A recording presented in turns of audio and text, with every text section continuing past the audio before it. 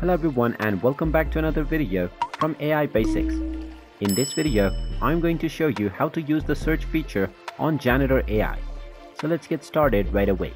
First of all, just open up your web browser and then in the address bar type in janitorai.com and press enter. This will now take you into the official website for Janitor AI.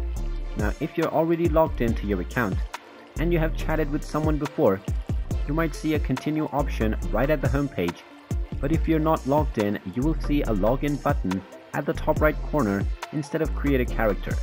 Now right from the home page, you will be able to see various characters that you can chat with and follow.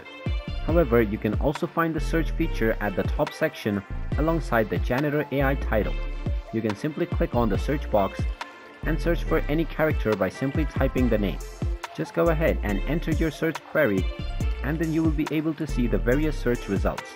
Using the search feature, you can find any character that you want and start chatting with any character. And there you have it. That is how easy it is to use the search feature on Janitor AI.